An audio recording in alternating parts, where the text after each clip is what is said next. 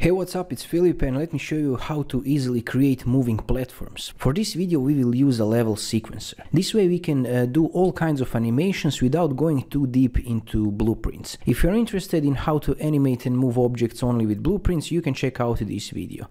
Okay, the first step is to go add and add one cube. Scale it so it resembles a platform.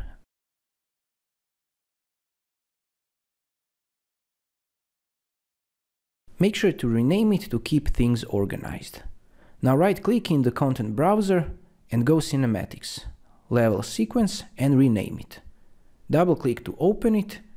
Now we need to add our elevator. Go track, actor to sequencer. Over here choose our elevator mesh. Before we start, go uh, here that says 30 FPS and under show time choose seconds. Now click this little dot to add a keyframe. And sequencer will remember the position of our platform. Now move playhead to 2 seconds. And move the platform up. Also add a keyframe to remember this position. Hold the Alt key and click and move to duplicate keyframe. This will create a 1 second pause. And now hold Alt and duplicate first keyframe this way, it will be exactly in the same position so we can make a seamless looping animation. You can check how it looks.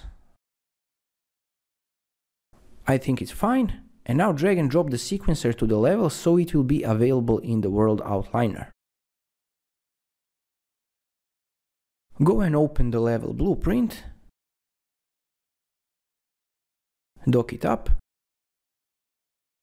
Right click and add the event begin play. Now go back to the outliner and drag the elevator animation to the level blueprint. Drag the pin and select Get Sequence Player.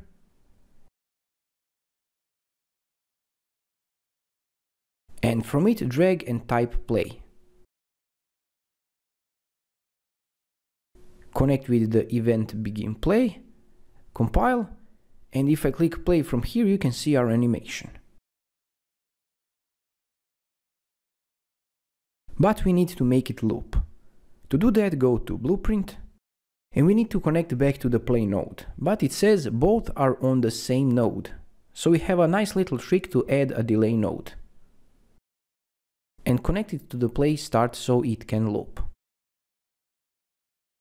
Double click the middle mouse button to add this white dot so you can organize better. Under duration you can change it to 2 seconds. So we can have a nice pause at the bottom of the animation.